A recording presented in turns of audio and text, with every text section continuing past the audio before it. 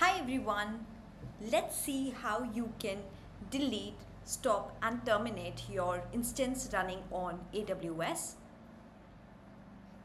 So here I have signed in to my AWS account. I will go to instances running. Here if you see there's one instance running, click on this, click on this checkbox.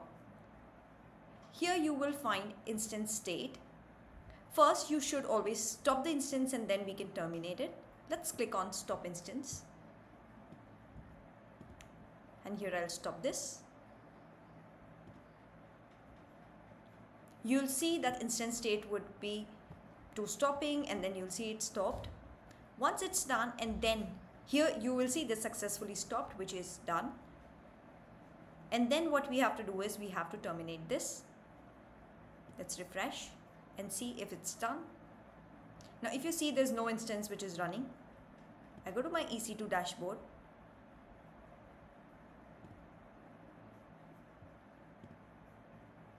I go to my instances. This is the old one which is now stopped.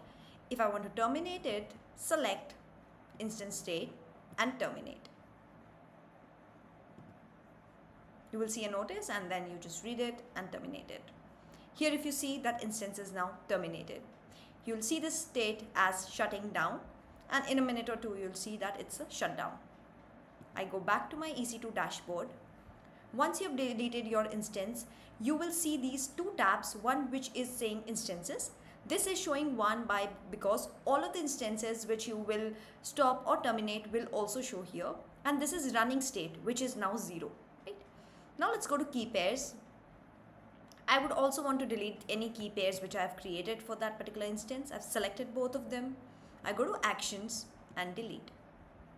You will have to type in delete just to confirm because you're deleting that particular thing so that AWS is sure that you're deleting it.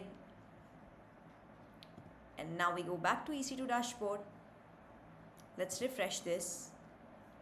I've deleted my key pairs, I've deleted my, stopped my instance and I've terminated it here you may see, even if you want to delete the security group, click on security group. You'll see two, default, uh, two security groups here. One would be default, which you would not want to delete it because it's by default. You can delete the one which you had created.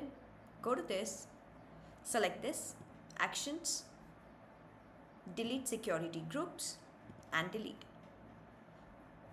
So whatever associated was with that particular instance, we have deleted everything. And here you see this let's refresh. Now the security group is also one which is by default. So here we have terminated all the instances. And this is the one. If you have more instances running you can stop and terminate.